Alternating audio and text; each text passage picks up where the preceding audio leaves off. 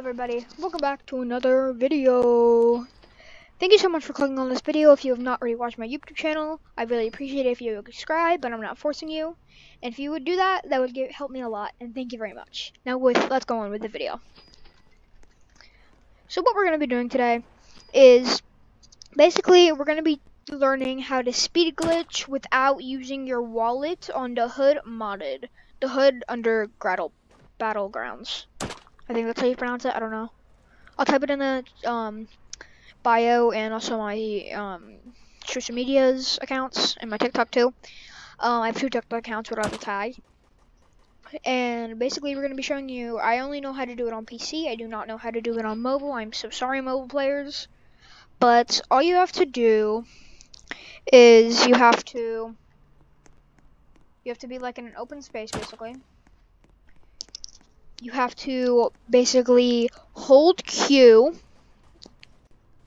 So basically, hold Q, then do W, and all you have to do is you just like you it does it immediately for you.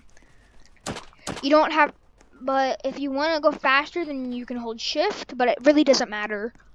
But um, yeah, that's how you speed glitch without using your wallet and uh, hood under under battlegrounds. I hope this guys helped, but one more time in case you guys didn't get what I was saying last time.